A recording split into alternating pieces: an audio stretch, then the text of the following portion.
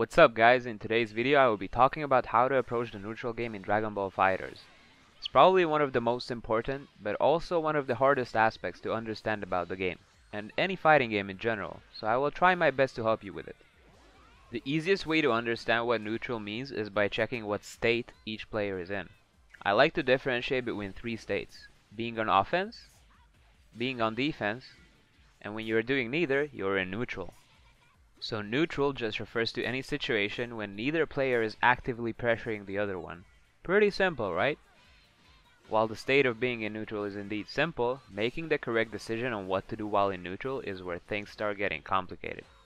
Depending on your playstyle, your characters, and the current situation of the match, your main goals in neutral can easily be put into one of two categories. Initiate offense in order to start your mix-ups, or keep your opponent from initiating offense, either by avoiding or punishing their attempts at doing so. So how do you go about achieving these goals in Dragon Ball FighterZ? While I could make a fancy 30 minute guide covering all your potential options in each of the two categories, I much prefer to just straight up tell you the strategy which is the most useful and quite simply the strongest when it comes to high level play. For that, we will be talking a lot about assists and assist cooldowns. You have probably heard the term neutral assist thrown around by commentators if you watch any Dragon Ball FighterZ tournaments, and for good reason. Your main tools for initiating offense will either be covering a move your point character has with an assist, or just flat out calling your assist without actually committing to anything on your point character. Both of these options are relatively safe and will reward you with damage on hit and continued pressure if blocked. And depending on the assist you use, worst case scenario is you're going to be safe on whiff. That said, whiffing a move and using up an assist puts you in a kind of bad spot against a skilled opponent, especially if they didn't use up their assist yet, and I'll explain next why that is. Baiting assist is a huge part of how neutral is played in DBFZ. Having a neutral assist while your opponent has theirs on cooldown puts you in an extremely good position for initiating offense.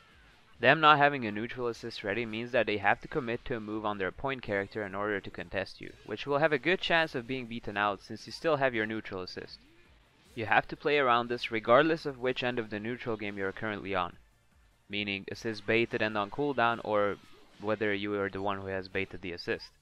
If you unsuccessfully use up your neutral assist, you shouldn't be trying to bulldog your way in, instead just reset to neutral and play it safe and slow while it comes back off cooldown. So quickly looking back at what is the main focus of the neutral game, it's either to initiate offense or to keep your opponent from initiating theirs. And the best and safest ways to achieve these is by playing around assist cooldowns, baiting them, and going in while having an assist covering your back. One of the reasons you see so many level 1 sparking activations in high level matches is because assists are extremely useful and having both of your assists alive at any given point is just way too valuable to give up if you can do something about it. Playing the neutral game without a neutral assist is a lot riskier, but the same concept still applies. You will be mostly trying to avoid your opponent's moves and bait their assists so that you will have an easier way to get in and start your offense.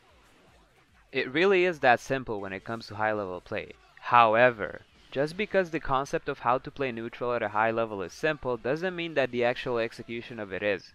There will always be situations in which you don't entirely approach as you would have wanted, or situations where you can't keep your opponent out as well as you would have planned.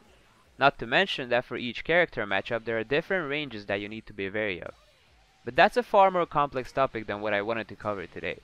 And each character could basically have a video dedicated to how to best play against them in neutral. I hope you found this little guide on the neutral game in Dragon Ball FighterZ useful, so now go and see how it works for you in practice. See ya!